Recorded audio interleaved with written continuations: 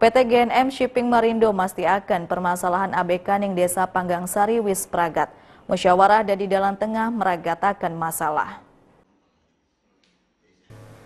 PT GNM Shipping Marindo buka suara terkait persoalan kabure ABK asal desa Panggangsari, Kecamatan Losari, Kabupaten Cirebon, kang diduga ngalami kekerasan di Korea. Musyawarah kang dilakukan karo pemerintah desa dari dalam tengah dalam meragatakan masalah.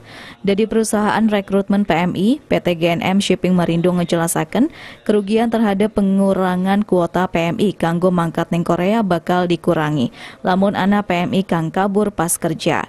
Kondisi kuan dari polemik dewek kenang pihak perusahaan secara otomatis bakal dirugiakan.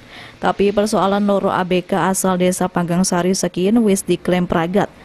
Lui-lui pihak perusahaan wis pirang-pirang kali nekai pihak keluarga kanggo meragatakan masalah. Sementara kuon agensi ning Korea Gen ngedorong kanggo menuhi keinginan ABK kang bersangkutan karo ngefasilitasi pindah tugas ning kapal kang anyar.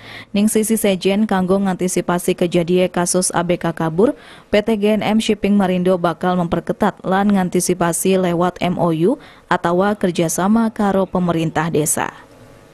Muhammad Solihin, RCTV Cirebon. Penerimaan peserta didik baru tahun ajaran rong euro likur rong ewu telu likur ning kuningan kesisa rong dina maning. Kanggo jenjang TK, SD, SMP, paket A, B, lan C, PPDB bisa dilakukan secara online lan offline kanggo wilayah blank spot internet. Penerimaan peserta didik baru tahun ajaran rong ewu likur rong ewu telu likur ning Kuningan kesisa rong dina maning. Dinas Pendidikan Kuningan wis ngumumaken PPDB dilaksanakan mulai tanggal 16 sampai rolikur Juni. Kanggo jenjang TK, SD, SMP, paket A, B, lan C, PPDB bisa dilakukan secara online lan offline kanggo wilayah blank spot internet.